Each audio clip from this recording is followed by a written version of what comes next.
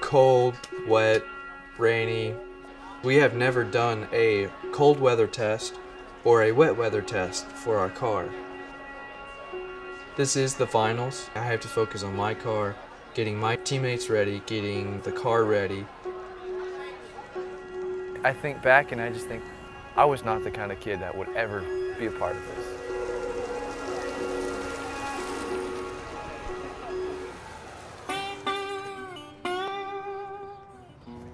School was school.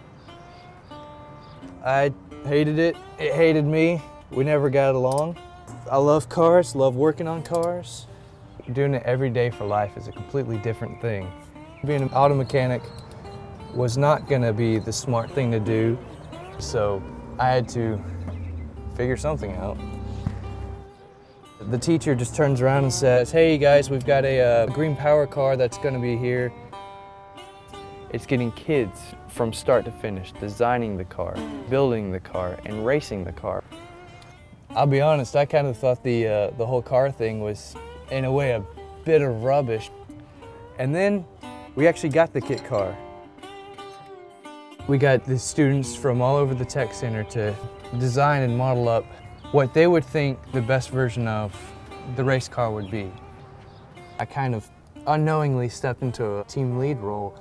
Every mechanic wants to be a part of a race team, and this was going to be my race team.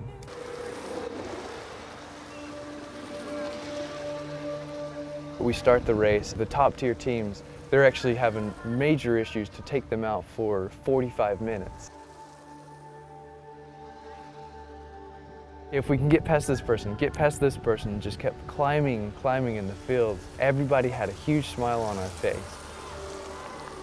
And then all of a sudden, Yeah, we were gonna do that. Matt, you did a good job, man. Look at that. Right on the center, man. Unbelievable. we knew we were out of top 10 finish. But looking back at it, it was such a cool experience. Everybody just came together and just seeing everybody work as a team, it was, it was great. Team USA head back into the race. We just wanted to finish the race. That was going to be our sense of accomplishment. Throughout the race, we had been really concerned about our batteries.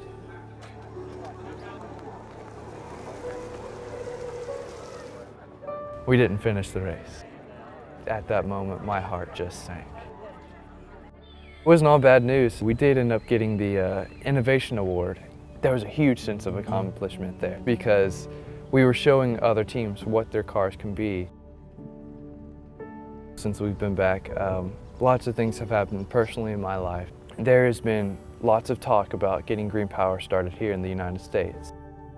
I've actually been hired in as an intern. I'll be traveling to the schools, helping them get started up into the programs that they need to design their cars. You say it's the end of the story, and yeah, it's the end of the story for the film. This really is the beginning.